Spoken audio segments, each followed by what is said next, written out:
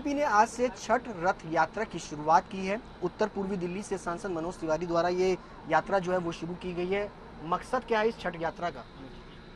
देखिए, इस छठ यात्रा का मकसद उन आम लोगों से बात करना है जो लोग छठ के व्रत को करते हैं। जो छठ के व्रत को करते हैं, उनसे मैं पूछ रहा हूँ कि हमने जो बात उठाई है वो गलत तो नहीं है। उसके तहत हमने ये छठ रथ यात्रा शुरू किया। आज हमारी पहला रथ यात्रा का पहला पड़ाव सोनिया बिहार था। और हम हर दिन यात्रा के बाद एक दिन समय देंगे दिल्ली सरकार को कि आप इसको अभी भी समय है प्रपोजल लाइए डीडीएमए को। और जब कोरोना गाइडलाइन के तहत स्विमिंग पूल में स्नान हो सकता है तो फिर तो कोई कारण नहीं कि छठ को आप प्रतिबंधित करें। सवाल यह है कि दिल्ली सरकार का और तमाम जो लोग हैं उनका आरोप है और आप पे सीधा टारगेट वो कर रहे हैं कि जो पाबंदी लगाई है वो डीडीएमए द्वारा लगाई गई है जिसके सर्वे सर्वा उपराज्यपाल है। तो उनको प्रपोजल देने में क्या जाता है? अगर मैं दो मिनट के लिए उनकी बात को मान लूँ टीडीएमए में कोई बीजेपी का तो कैंडिडेट नहीं है। सब आम आदमी पार्टी के लोग हैं उनकी सरकार के लोग हैं।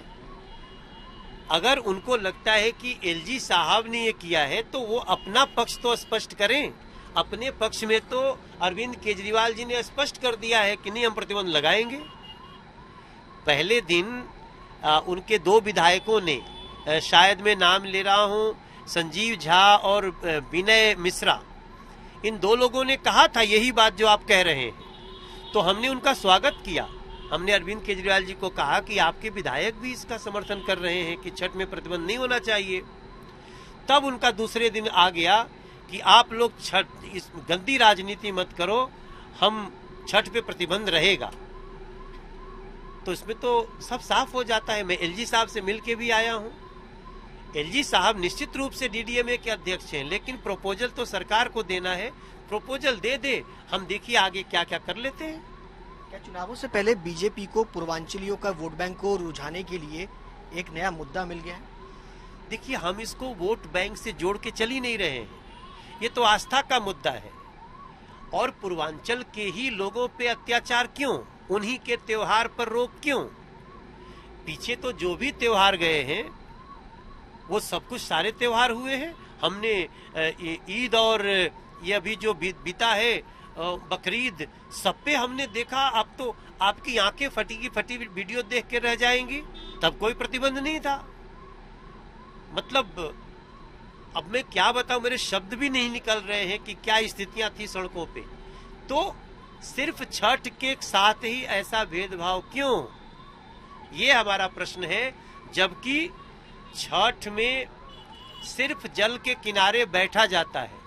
थोड़े देर के लिए जल के अंदर पैर जाता है और पैर से कोरोना नहीं होता। कोरोना तो मुँह, नाक, आँख, कान से होता है। मास्क पहन के, वैक्सीन लगा के, हर तरह से सोशल डिस्टेंसिंग का पालन करते हुए लोगों को छठ करने का अनुमति दीजिए। आप जहाँ खड़ा होना है, वहाँ की संख्या निश्चित करिए। जो वैक्सीन नहीं लेगा, उसको मत छठ करने दीजिए। सर्टिफिकेट देखिए। इन सारी चीज़ों की छूट जो नहीं मिली तब जाके हम सड़कों पे हैं और हम ये बात जो भी रिपोर्ट मिल रही है मीडिया का भी धन्यवाद देता हूँ वो इस बात को समझ रही है। अरविंद केजरीवाल जितना जल्दी समझ ले उतना ही अच्छा है। सरकार ने तो साफ़ कहा है कि वो इसके छठ पर्व को नहीं मनाने देगी। डीडीएमए की गाइडलाइंस है। आप सांसद साहब हैं क्या उपराज्यपाल से मिलेंगे? क्या आगे की आपकी रहेगी? देखिए अगर स्थिति भयावह होती है तो हम खुद ही नहीं कहते। लेकिन छठ के समय कोरोना की भयावहता तो एक हफ़्ते पहले पता चलेगी ना? डेढ़ महीने पहले कैसे पता चल गया? नवरात्रि का फैसला लेना था सात दिन पहले हुआ। रामलीला का फैसला लेना था सात दिन पहले हुआ। तो छठ का फैसला दो महीना पहले कैसे भाई? तभी हमें इनके नियत पे शक होता है और हम सड़कों पे हैं। मनोज तिवारी जिनका साफ़ तौर पर कहना है कि दिल्ली सरकार पर उनका सीधे तौर पर आरोप है कि छठ पर्व को लेकर के सरकार राजनीति कर रही है और ऐसे में वो सरकार के खिलाफ दिल्ली में इस तरीके से रथ यात्रा जो है वो हर रोज निकालेंगे ताकि सरकार छठ पर्व पर लगी पाबंदी को हटाए।